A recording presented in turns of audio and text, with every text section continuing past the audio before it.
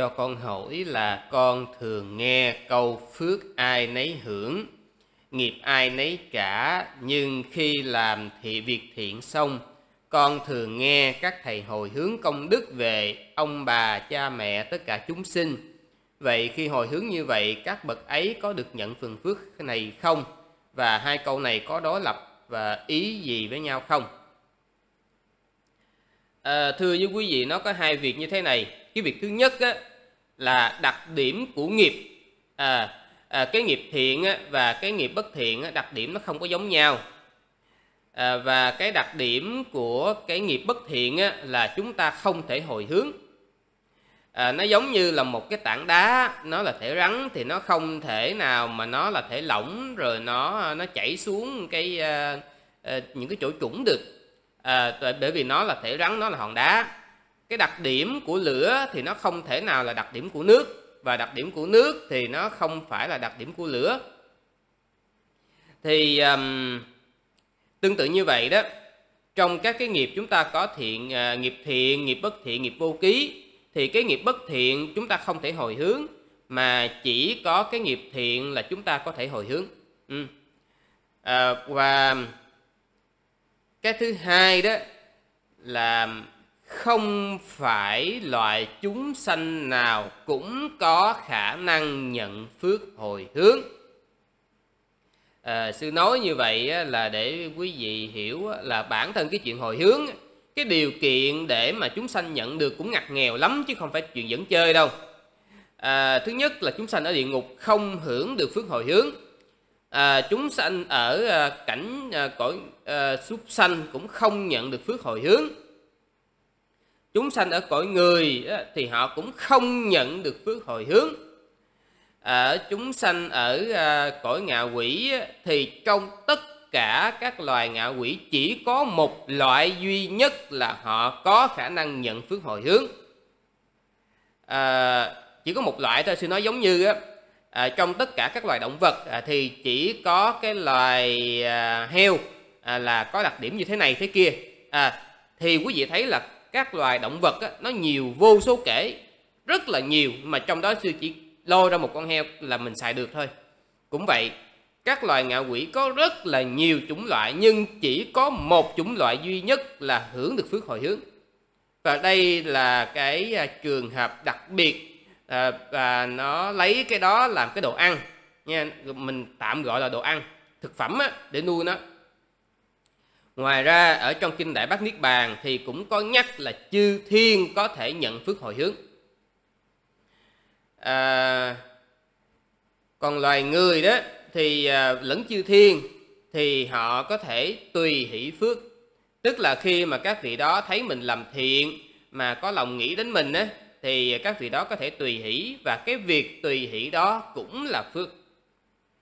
À, cho nên á, là thứ nhất á, là cái chuyện làm hồi hướng phước ha. Thì thứ nhất là chúng ta chỉ hồi hướng được cái thiện nghiệp thôi.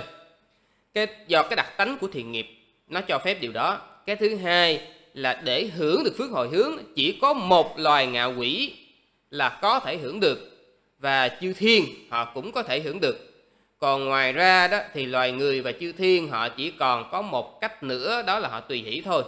Còn ngoài ra tất cả các chủng loại chúng sanh còn lại thì đều không hưởng được. À, cho nên là nó cũng không có cái gì gọi là nó nó nghịch nhau bởi vì chúng ta thấy là đây là cái điều kiện nó khá là đặc biệt. Và không biết là trong trường hợp này à, sư tuệ tường có bổ sung à, gì hay không? Dạ thưa đại đức uh, kính thưa quý vị. Uh, đại đức uh, hạnh tuệ vừa giảng giải cho quý vị hiểu rõ về cái uh, ở trong đây có một câu hỏi lớn và có hai câu hỏi. Thì câu hỏi đầu đức hạnh tuệ nói về cái việc nhận phước thì rất là rõ ràng à. và sư cũng đồng ý với quan điểm đó cho nên là cũng không có bổ sung gì thêm. Riêng về cái phần mà nói là đối lập á. Thì sư chỉ uh, nói thêm điểm này cho vị hiểu rõ thêm. Là sư cũng đồng ý với quan điểm của đức thanh tuệ thật sự hai câu này mình khi mình hiểu quý vị nó đâu có gì đối lập đâu. Không? bởi vì sao? Bởi vì trên tinh thần đó, đúng đó là đức phật ngài có đức phật ngài có dạy nghĩa là chính chúng ta là người thừa tự nghiệp. Chứ không có ai á không có ai có quyền mà ban phát đó. Trừ khi giống như đức hành tệ nói đặc tính của ờ, cái nghiệp thiện tại vì sao? Tại vì trong Milinda vấn đạo ngài ờ, Naga ngài Nagasena có trả lời với Milinda thì cái đặc tính của thiện nghiệp á, nó có sự lan tỏa. Mà lan tỏa ở đây là mình hiểu là chúng mình hiểu như vậy. Có nghĩa là giống như đức hành tuệ có nói là khi mà mình làm cái phước thiện đó mà mình hồi hướng đến cái thân bằng quyến thuộc của mình. Mà thân bằng quyến thuộc của mình may mắn là cái loài ngạ quỷ duy nhất mà nhận được phước báo đó. Cái điều kiện á, cái điều kiện á, thì để đức hiện tại cũng đã nói, sư cũng đồng ý, nghĩa là điều kiện nó rất là ngặt nghèo, nó rất là khó khăn, nó rất là khắc khe. Quý vị phải hiểu thêm một điều này nè. Như vậy nếu mà quyến thuộc quý vị là cái loại đúng loại ngạ quỷ đó họ tùy hỷ khi mà quý vị làm phước á, thì họ sẽ nhận được. Nhận được đây cái hiểu cách cách hiểu mình nhận được cái đây là sao? Là khi mà họ đứng ở họ đứng ở ngoài cái đứng ngoài đứng ở ngoài để quan sát quý vị làm và quý vị có cái lòng thương tưởng đến họ thì cái khi mà quý vị hồi hướng đến họ thì cái nguồn năng lượng đó, nó lan tỏa nó bị. Đến người đó thì những người đó nó có cơ hội trỗi dậy tâm thiện thưa vị có cơ hội trỗi dậy tâm thiện. Ở đây phải nói rõ nghe cái nghĩa là cái quý thuộc quý vị phải có tùy hỷ cùng với quý vị. Thì cái điều kiện tâm thiện nó mới trỗi dậy. Thì họ mới nhận được cái phần đó gọi là phước báo đó thì họ mới thoát ra cảnh khổ. Đó là trường hợp thứ nhất. Bây giờ trường hợp thứ hai quan trọng nữa vì phải hiểu rõ là như nào. Lỡ may á, họ vì cái gì họ vì cái một điều gì đó nó tà kiến hay là một cái điều gì đó nó luyến tiếc nó chấp thủ giống như họ sẽ nghĩ như vậy ủa tại sao mà mà, mà mày mày lấy lấy cái ờ, những cái đồ ờ, của tao cái tài sản của tao nè? Mày lại đi cúng dường mấy ông thầy chùa này chả có ích lợi hết á. Rồi mình kêu tao làm chi? Thì thưa quý vị trường hợp đó cũng không nhận được thưa quý vị. Quý vị phải hiểu rõ như vậy. Như vậy cái điều kiện để bị trợ duyên trợ duyên cho họ bởi vì cái tâm thiện thì phước báo phước báo phước báo từ cái, cái, cái buổi cúng dường gia tăng nó lan tỏa thì họ mới nhận được cái đó. Phải hiểu rõ như vậy.